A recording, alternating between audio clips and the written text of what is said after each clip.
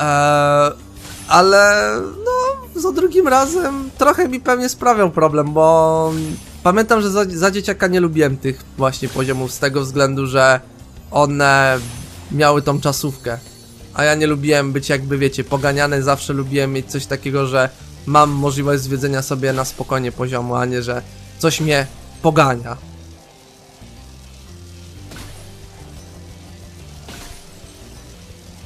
Ciekaw jestem, czy uda mi się tutaj też za pierwszym razem przejść ten, że tak powiem, poziom lotniczy.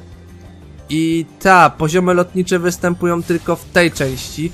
Coś podobnego mamy w Spyro 2, ale jak mówię, poziomy lotnicze, czyli w ogóle sama nazwa Flight występuje tylko w tej części. Bo, no mówię. Uh, udało się! Za pierwszym razem, man! I wychodzimy. Okej, jesteśmy z powrotem. Dobra. To lećmy zatem... O ku- kurde, bym prawie się wywalił. Dobra, lećmy do przodu. Ehm, ta. To jest jedyna gra, która ma coś takiego, że poziomy nazywają się Flight. I mówię to bez żadnych takich skrupułów. Gunnar! Dobra robota, Spyro. Oby tak dalej, a z pewnością wykonasz powierzoną ci misję. Misję? Nie wiedziałem, że to jakaś misja. Rób swoje, przypiekaj zbirów i zbieraj kosztowności. Oczywiście, że to jest misja, kurde Spyro, co ty masz? Ujemny iloraz inteligencji? No kurde, hopie.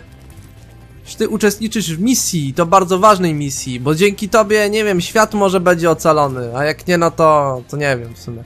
Dobra, nie będę tutaj kwestionował w to, bo musimy brać pod uwagę to, że Spyro jest młody w tej części. I kurde, Sparksa miałem wyleczyć, zapomniałem o tym. Mamy tu zające, więc atakujmy zające. Bo zajączki są, kurde, źródłem dochodowym dla smoka. Tak dochodowym, że lekarstwa w świecie smoków nie istnieją, tylko zajączki. Wow, wow, wow, wow, wow, kurde.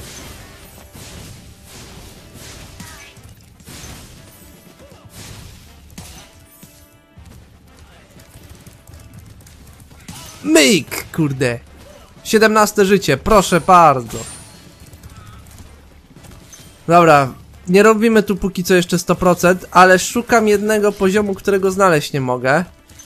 To nie jest ten, to nie jest ten poziom, tylko jest jeszcze inny poziom, który miał takie zejście w dół. O, proszę bardzo, tu jest ten poziom. Lodowe pieczary, Ace Cavern. Albo Ice Cavern w sumie. Jezus Maria, jak ja cię kurde po tym poziomie nienawidzę. Naprawdę, jesteś najgorszym poziomem z całej chyba gry. Albo jednym z najgorszym obok Treetops. Dobra, lecimy tutaj. To jest właśnie Ice Cavern i nie bądźcie zmyleni, ponieważ to tło, które jest teraz przedstawione, to jest tło do tego poziomu. Znaczy zresztą sami pewnie zauważyliście, że jak wchodzimy, to często jest pokazane tło jako taki element zwiastunowym, że będziemy wchodzili do takiego właśnie poziomu.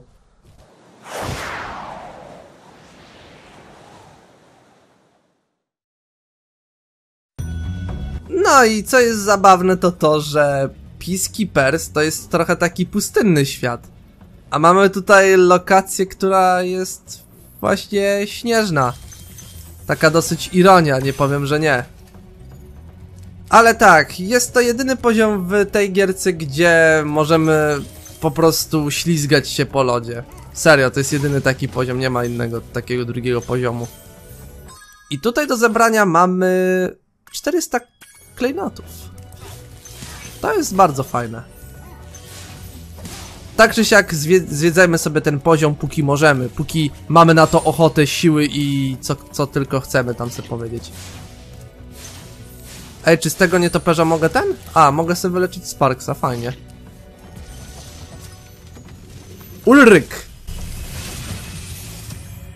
Drobna rada na przyszłość. Zanim zaczniesz szarżować na większych rywali, poczekaj aż podrośniesz do moich rozmiarów. E, no chyba cię pogrzało, kolego. Tutaj myślę, że za bardzo starydy ci wyprały mózg. A przepraszam, nie ma czegoś takiego jak starydy w świecie Spyro. Więc nie wiem, co ty tam wpierdzielasz, że jesteś taki silny, ale prawdopodobnie to coś wyssało twoje szare komórki, skoro uważasz, że Spyro nie może atakować większych od siebie, ponieważ nie jest takiego samego wzrostu jak oni, albo jak ty, głąbie. To tak nie działa. Spyro, jak widzisz, potrafi takich równych tobie pokonać, więc zamknij się, proszę, jeżeli masz gadać głupoty. I swoją drogą tutaj, jak widzicie, mamy klejnoty, które możemy zaatakować właśnie szarżą w taki sposób, zaszarżować. Proszę bardzo. I znowu przeszkadzajki. Pam, param, pam, pam, pam. Elo wszystkim, wróciłem. Czas tutaj nietoperki za... zadźgać, kurde. Dobra. Uratujmy kolejnego smoka, czyli Todora. Witam, Todorze. Spyro, masz przed sobą kilka dużych, opancerzonych gnorków. Takim stroju w lodowej jaskini poczują się jak na ślizgawce.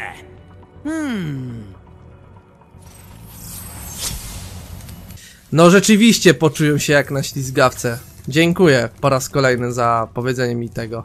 Tak oczywistej rzeczy, swoją drogą. Dobra, lećmy sobie do góry, ponieważ tutaj też mamy klejnoty, a nie chcę ich pominąć, żeby potem nie było płaczu, że ojejku, pominąłem tu klejnoty, ohoho, nie ma klejnotów, nie mogę 100% zrobić. Tak, tutaj w ogóle mamy skrzynkę z kluczem, ale póki co klucza nie mamy, więc sobie nie zdobędziemy. Bo klucz jest na tej wysepce i no, w sumie dobra, kurde, lecę tutaj. Lecę, bo chcę, lecę, lecę, bo życie jest złe. Czy są pieniądze, czy nie. Lecę, bo wolność to zew, że tak powiem.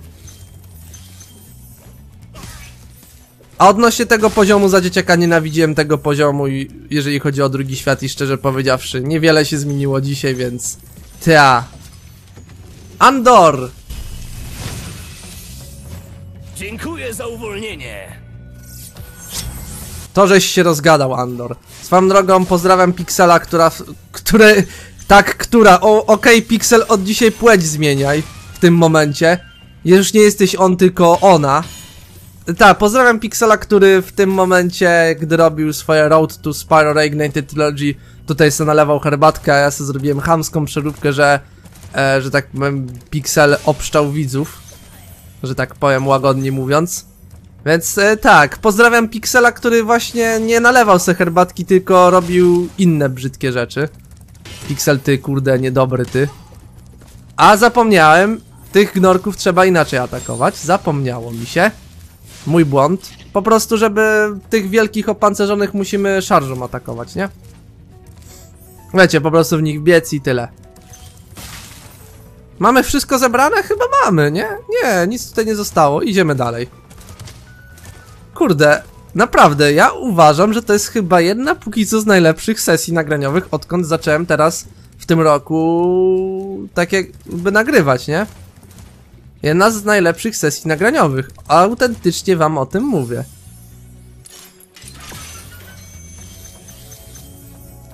Dobra. Lecim w takim razie tutaj. Mamy już 240 klejnotów. Nice. Coraz bliżej 400. I patrzcie, nie, nie, nie wyzywam tego poziomu na każdym kroku. I ten poziom sprawia, że zaraz będzie koniec. Dosłownie, autentycznie zaraz będzie koniec tego poziomu.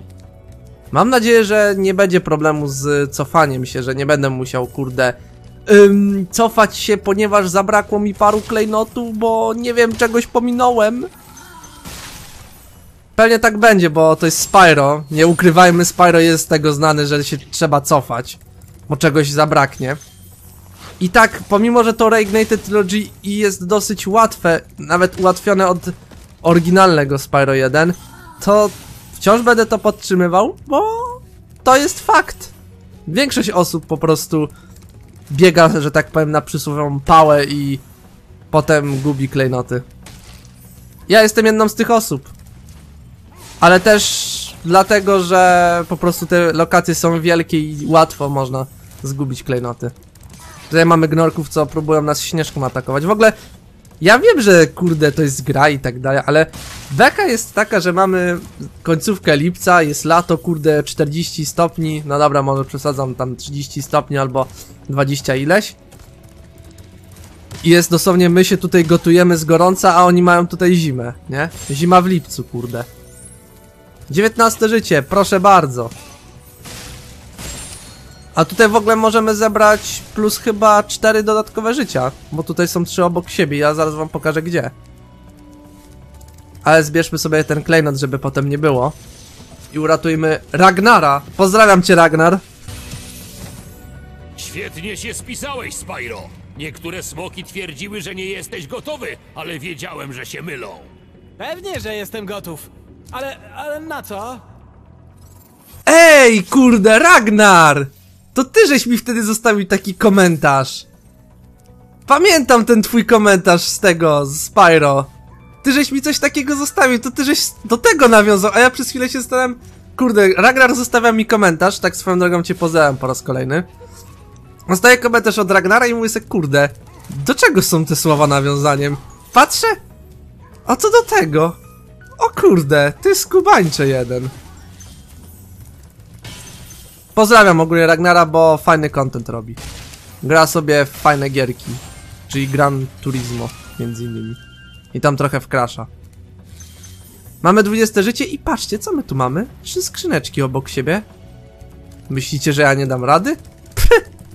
Jeżeli ktoś przez sekundę pomyślał, że nie dam rady i nie będę uparty jak asioł i nie polecę tam, to no, szczerze mnie chyba nie znacie za bardzo. Ale zanim to zrobię, zdobądźmy ostatnie klejnoty i uratujmy ostatniego smoka. Asher! O, dzięki, że mnie uwolniłeś, Spyro. Co to ja chciałem? No, skleroza boli. Boli i w oczy kole normalnie.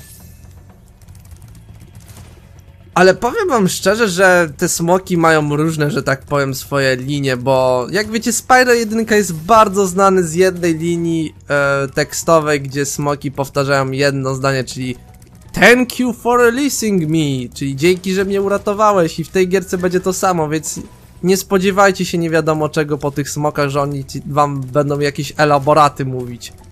Nie, nie, nie. Tej części będzie dużo gadania. Dzięki za uwolnienie mnie! Dzięki za uwolnienie mnie! I nie zgadniesz co? Dzięki za uwolnienie mnie! Czasami to jest denerwujące, uwierzcie mi. Dobra, i co? Dostajemy się teraz tutaj. Do tych trzech żyć. I proszę bardzo. 23 życia. Dziękuję za uwagę. Opuszczamy poziom. Nic tu po nas. Powróciliśmy z powrotem do naszego domu. I kolejny smok. Niech się tutaj wykaże, ten Magnus jeden.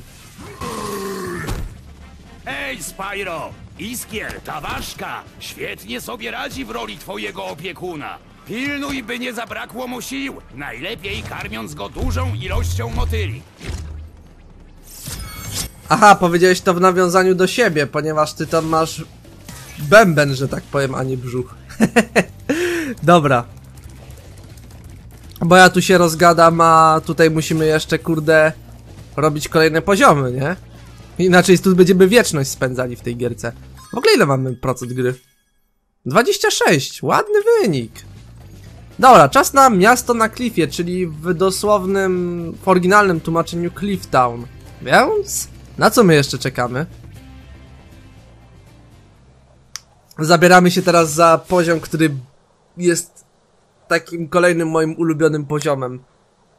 Albo w sumie może zamiast mówić, że każdy poziom jest mój ulubiony, to po prostu będę wyróżniał jakieś takie moje najbardziej ulubione poziomy, więc to jest taki poziom numer 3 najbardziej wyróżniony. Bo naprawdę klimat tego poziomu jest epicki. I Spyro chyba coś tutaj odwalił niedobrego, bo on za bardzo do góry poleciał. Ta muzyka, ta muzyka jest po prostu piękna. Ile mamy tutaj do zebrania? 400. Aha, myślałem, że tu już w ogóle wchodzą klejnoty e, 500, 500, że wiecie, nie, zamiast 400 to 500 trzeba będzie zebrać. Ten poziom to jest też jeden z krótkich poziomów, aczkolwiek to, że jest krótki nie oznacza, że nie jest trolujący. Doprawdy, ludzie. Za dzieciaka bardzo lubiłem wracać do tego poziomu. Nie wiem czemu, po prostu lubiłem sobie wracać do tego poziomu, bo... Czemu by nie? Często po kończeniu gry zawsze leciałem na drugi świat i mówiłem sobie E, wiecie co? Polecimy sobie na Clifftown. A czemu nie? Aczkolwiek wadą trochę tego poziomu jest to, że tu łatwo można naprawdę klejnoty pominąć.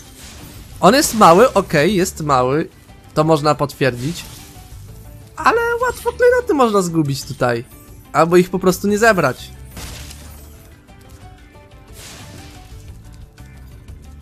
A my nie lubimy nie zbierać klejnotów, co nie? No ja na przykład lubię zbierać klejnoty. Jestem jedną z tych osób, co bardzo lubi zbierać klejnoty i gdy ma możliwość, to robi to namiętnie. Może tak powiem.